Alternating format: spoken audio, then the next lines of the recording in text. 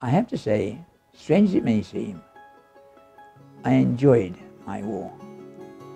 I felt what I joined for in the first place was to get at that so-and-so Hitler. And that was why I enjoyed it so much. But I getting done what I thought needed to be done. I have to say that I think the RAF Benevolent Fund does wonderful work.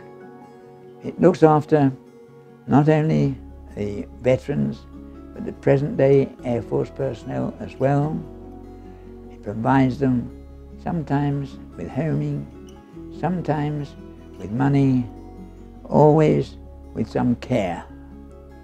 And I think the RAF family is the apt name and a very accurate one for it.